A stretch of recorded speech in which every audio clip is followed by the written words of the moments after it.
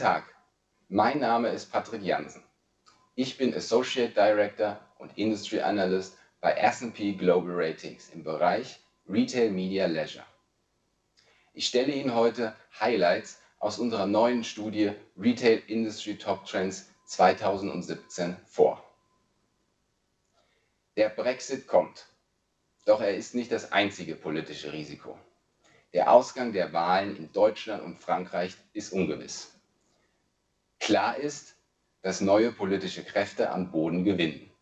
Wir erwarten eine Zunahme protektionistischer Maßnahmen. Dies wird einen Effekt auf die Handelsströme haben und exportorientierte Unternehmen belasten. Wir gehen daher von einem schwächeren Wirtschaftswachstum in Zukunft aus. Zudem erwarten wir eine wieder zunehmende Inflation, denn Rohstoffpreise haben ihren Boden gefunden und beginnen wieder zu steigen. Höhere Inflation auf der einen Seite, schwächeres Wirtschaftswachstum auf der anderen Seite. Das ist ein schlechtes Umfeld für den privaten Verbrauch und die Unternehmen des Einzelhandels. Margen in der Branche dürften 2017 schrumpfen. Daher ist unser Sektorausblick für den europäischen Einzelhandel nur stabil bis negativ. Makroökonomische Risiken sind allerdings nicht die einzigen Herausforderungen für den Sektor. Das Konsumverhalten der Verbraucher ändert sich stetig.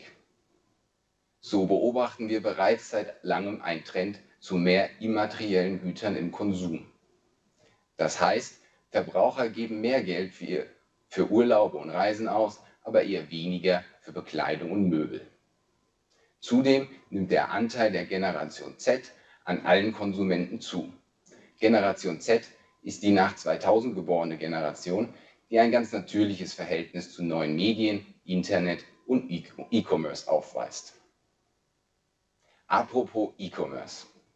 Dieser wird auch 2017 der Wachstumstreiber im Einzelhandel bleiben. Dennoch birgt er ebenfalls Herausforderungen. Investitionen sind erforderlich, um die Online-Plattform aufzubauen. Zudem, zudem tun sich gerade traditionelle Einzelhändler schwer mit der höheren Preistransparenz im Internet. Haben wir Ihr Interesse geweckt? Dann schauen Sie in unser Retail Top Trends 2017 auf www.spratings.com. Danke fürs Reinschauen.